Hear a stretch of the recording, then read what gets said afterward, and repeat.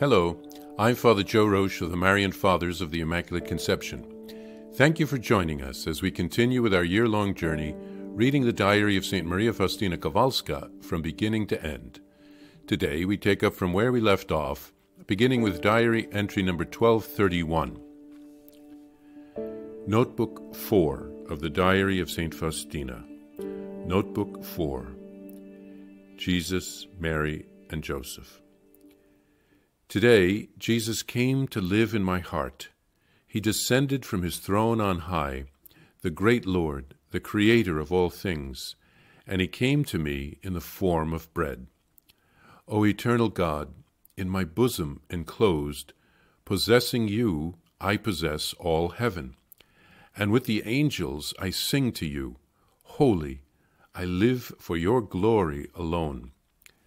Not with a seraph do you unite yourself, O God, but with a wretched man, who can do nothing without you. But to him you are ever merciful. My heart is your abode, O King of eternal glory. Rule in my heart and be Lord, as in a palace of splendor untold. O great, incomprehensible God, who have deigned to abase yourself so, Humbly I adore you, and beg you in your goodness to save me. Jesus, Mary, and Joseph. O sweet Mother of God, I model my life on you. You are for me the bright dawn. In you I lose myself, enraptured. O Mother, Immaculate Virgin, in you the divine ray is reflected Midst storms, tis you who teach me to love the Lord. O my shield and defense from the foe. Krakow, August 10th, 1937. Saint Mary Faustina of the Blessed Sacrament. O sacred host, fountain of divine sweetness, you give strength to my soul. O you are the omnipotent one who took flesh of the Virgin. You come to my heart in secret, beyond reach of the groping senses. Jesus, Mary, and Joseph, Krakow, August 10th, 1937, Notebook 4. All for you, Jesus. I desire to adore your mercy with every beat of my heart, and to the extent that I am able, to encourage souls to trust in that mercy as you yourself have commanded me, O Lord. In my heart, in my soul, there is a dark night. My spirit has come up against an impenetrable wall that hides God from me. But this darkness is not of my doing. Strange indeed is this torture of which I fear to write in full. But even in this state, I am trying to be faithful to you. O my Jesus, always and in all things, my heart beats for you alone. August 10th, 1937. I came back today from Rabka to Krakow. I feel very ill. Only Jesus knows how much I am suffering. During these days, I have very much resembled Jesus crucified.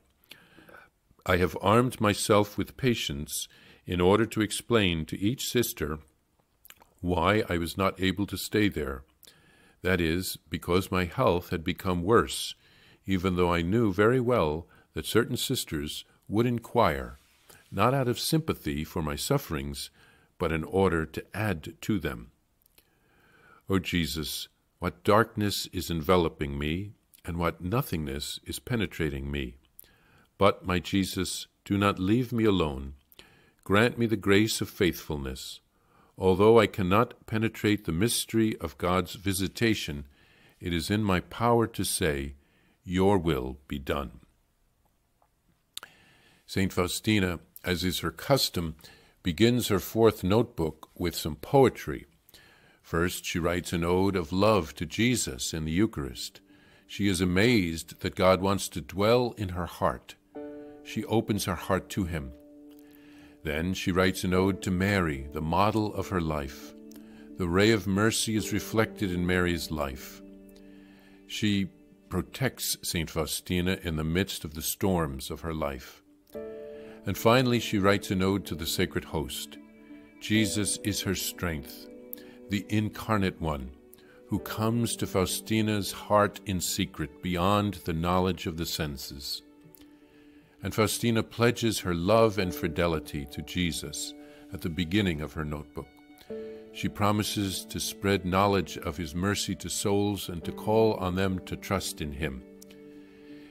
She acknowledges that she is enduring a dark night in which she can't perceive the presence of God in her soul. She doesn't want this, but it is God's will at that moment.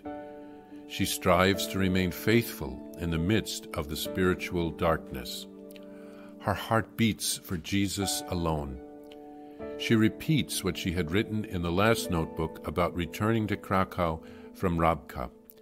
She had to return because of her health, which was so poor, and the mountain climate only made things worse.